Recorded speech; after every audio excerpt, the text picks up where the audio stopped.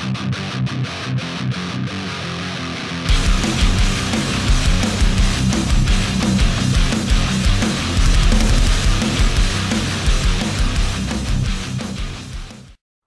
guys, welcome aboard to Ru-Fi-Oh. My name is. If this is your first time on the channel, thank you very much for joining us. You should definitely hit subscribe before you go any further so you don't miss out on this kind of content in future. And if this is not your first time on the channel, well, you have some problems, young man. You should seek help.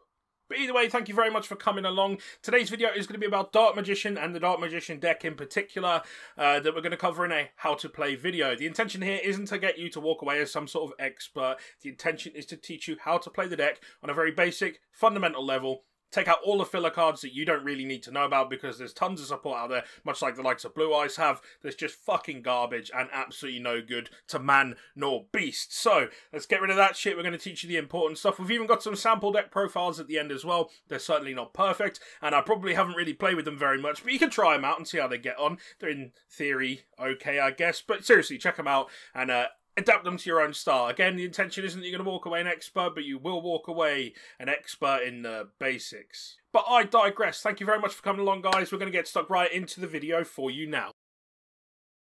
Dark Magician, the card, has existed since the very beginning of the Yu-Gi-Oh franchise. It's one of the key cards associated with the anime and is the ace monster of Yu-Gi-Oh's franchise's main protagonist, Yugi Muto and as such is a mainstay in the minds of people when they think of the show and the card game, much like Yugi's main rival in Seto Kaiba and his association with the Blue Eyes White Dragon. When I say that the Dark Magician has been there since the very beginning, you can take that very literally, with releases of cards, merch, and the like predating Konami's inclusion in the card game, and being a part of the original Toei anime Season 0 as it's commonly known, with cards being released in the Bandai series as well as collector's cards that predate the Konami ones too, not to be confused with the collector's rares. It's also seen about a gazillion different prints, much like his counterpart in Blue Eyes. The card also has a sidekick, which is, I think, worth mentioning Dark Magician Girl, a fan favourite for, well, obvious reasons. For today's video, we're going to be looking at Dark Magician as a choice of deck. To do so can be a little bit tricky since, technically speaking, the amount of Dark Magician specific cards is hugely extensive, but very little make a usable deck. As such, we'll be covering Dark Magician, the better support choices, as well as some sample deck variants so you can have some idea of different ways the decks can be played. With this in mind, we're going to be looking at the main options you should consider, but of course, you'll get a broader view from the sample deck lists. Some example variants include Ritual based decks, Dark Magician based decks, Magician Girl decks, Fusion decks with the likes of Eye of Timaeus, and so many, many more. Dark Magician, on the whole, is largely a more casual choice of deck, being extremely popular with avid fans of the anime, and tends to be seen more so at a local tournament level. Having said that, the deck does have a handful of known regional tops to its name, and as recently as January this year, put on a highly respectable finish, piloted by Yugi Tubing superstar Team Samurai X1. So what is it that the fans love about Dark Magician and Pals, and how is it played? Apart from the obvious love for this card's position within the franchise as an iconic monster, the deck is also loved by fans because frankly, it's a lot of fun to play. Without risking this descending into a whole casual versus competitive standpoint, that's just one of those things that does keep people coming back. It's also worth noting that due to the insane amounts of both direct and indirect support and options for the deck, regardless of which variant you consider playing, there's always a fresh approach that can be taken to your deck of choice, alongside being flexible enough to give it the best possible meta matchup, which is a huge pro for being able to compete. The playing style again varies from deck to deck, but largely the deck focuses on compact combos of play and then using the vast spell and trap support to control the board. Plus, a 2500 beta does sometimes come up too. Next up, we're taking a look at the Dark Magician cards. Well, not strictly speaking, but I'm covering the main ones, I suppose, including major Dark Magician support cards, variant options, and more. I'd also like to mention that if you're here for a full rundown of every magician related card, I've got some bad news for you. Sure, the likes of Dark Eradicator, Buster Blader, Dark Sage, and the like are all really cool, but that would honestly make this video insanely long, and even at this length, it's incredibly time consuming to edit and make, so if that's not what you're looking for, well, that's unfortunate for you. Primarily, I'm going to be trying to cover the relevant support worth running, and I'll leave some wiggle room where I can. As with all of these videos, a quick disclaimer, I won't be reading the effects in full, so as to save some time on the video length, but I will be showing them on the screen for your perusal. This means that you can read the cards to get an idea of specifically how the effect interacts with other cards, but given that you're a Yu-Gi-Oh player, we know you likely won't be reading a fucking thing. So we start off with the Pimp Daddy himself, Dark Magician. So, Dark Magician doesn't actually have an effect, so here's the flavor text the ultimate wizard in terms of attack and defense. With no monsters left on the field, I summon Dark Magician. Declare direct attack. Ah, you got me. Hold just master. GG. Which is a damn lie, but there you go. Dark Magician Girl. Gains 300 attack for every Dark Magician or Magician of Black Chaos in the graveyard. Dark Magician of Chaos. During the end phase, if it was summoned this turn, you can add a spell from your graveyard to your hand.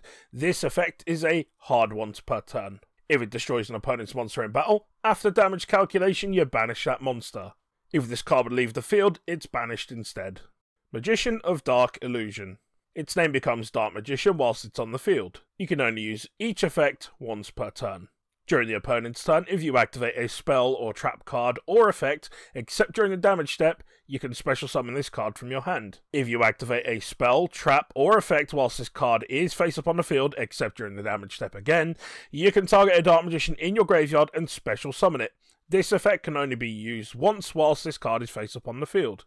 Apprentice Illusion Magician. You can special summon it from your hand by discarding a card. If it's summoned, you can add a Dark Magician from your deck to your hand. During damage calculation, if you have another Dark Spellcaster monster that's involved in battle, you can, quick effect, send this card from your hand or face up from the field to the graveyard to boost that monster's attack and defense by 2000 during that damage calculation.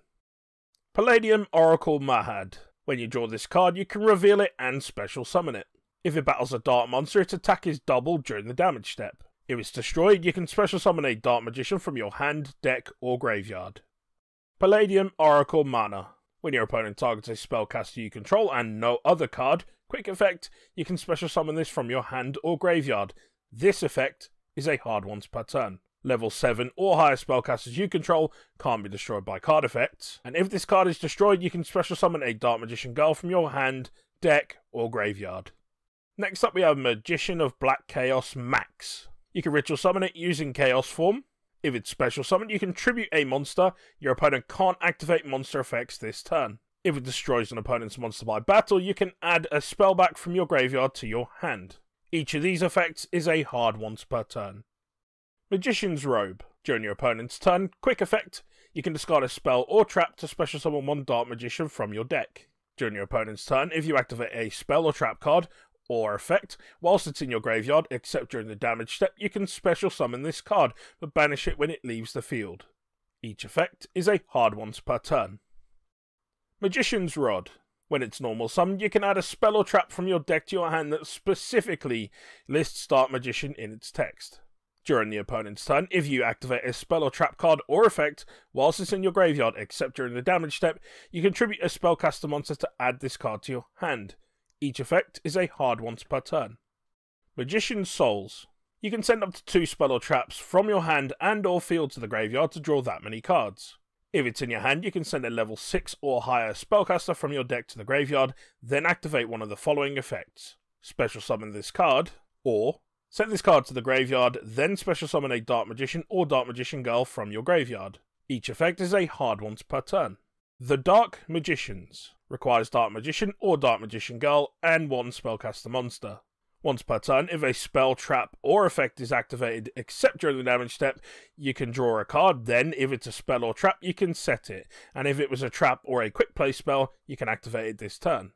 If this card is destroyed, you can special summon both a Dark Magician and Dark Magician Girl from your hand, deck, and or graveyard. Dark Paladin requires Dark Magician and Buster Blader it must be fusion summoned. When a spell card is activated, quick effect, you can discard a card to negate the activation and destroy it. This card must be face up on the field to activate and resolve this effect. It also gains 500 attack for each dragon monster in the field and in the graveyard. Red Eyes Dark Dragoon requires Dark Magician plus Red Eyes Black Dragon or one Dragon Effect monster. It can't be destroyed by card effects. It can't be targeted with card effects. During your main phase, you can target and destroy opponent's monsters up to the number of normal monsters used for this card's summon, and inflict damage equal to that monster's original attack to the opponent. Once per turn, when a card or effect is activated, you can quick effect, discard a card to negate and destroy that card, and then this card gains 1000 attack permanently. Dark Cavalry requires Dark Magician plus 1 Warrior Monster. It gains 100 attack for each spell and trap on the field and in the graveyards. It inflicts piercing battle damage. When a card or effect is activated targets a card on the field, quick effect, you can discard a card to negate and destroy it. Dark Magician the Dragon Knight requires Dark Magician plus 1 Dragon Monster. Its name becomes Dark Magician whilst it's on the field or in the graveyard. Your opponent can't target or destroy spells and traps you control. Dark Magician Girl the Dragon Knight Requires Dark Magician Girl and one Dragon Monster. Must be fusion summoned with the above materials or using the Eye of Timaeus. Once per turn, quick effect, you can send a card from your hand to the graveyard to pop a face up card on the field. Amulet Dragon requires Dark Magician plus one Dragon Monster. Must be fusion summoned with the above materials or using the Eye of Timaeus. If it's special summoned, you can banish any number of spells from either graveyard, and then this card gains a thousand attack for each one banished by this effect. If it's destroyed, you can special summon a spellcaster from your graveyard. Quintet Magician requires 5 spellcaster monsters. If it's fusion summon using 5 spellcasters with different names, you can nuke your opponent's board.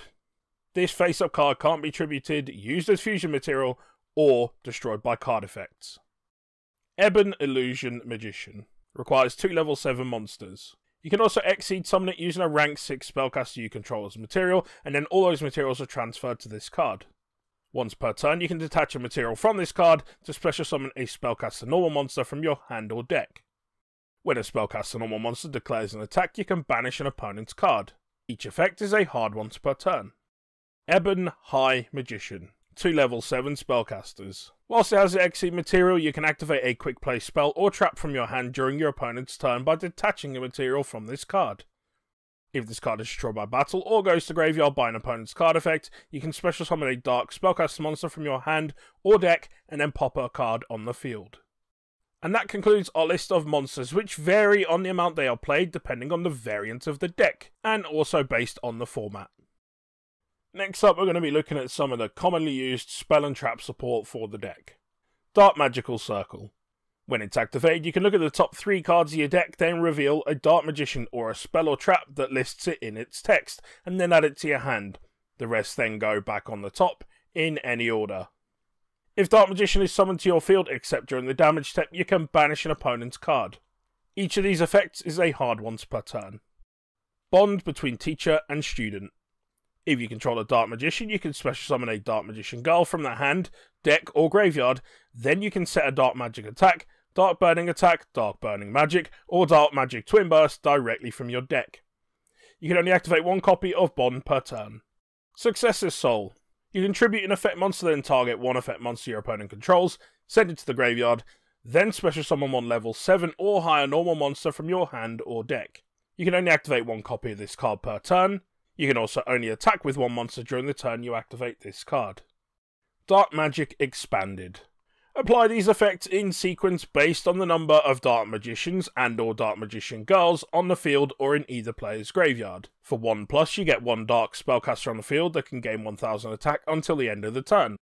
For 2 plus, this turn your opponent can't activate cards and or effects in response to your spell trap cards, or effect activations, and they can't be destroyed by an opponent's card effects. And then for 3 plus, dark spellcasters you control are unaffected by your opponent's card effects until the end of the turn.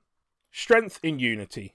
If you ritual or fusion using a Blue Eyes or Dark Magician, you can banish a card your opponent controls or one in their graveyard. You can send this face up card from the field to the graveyard, then target a level 7 or higher normal monster in your graveyard, then add it to your hand or shuffle it into the deck.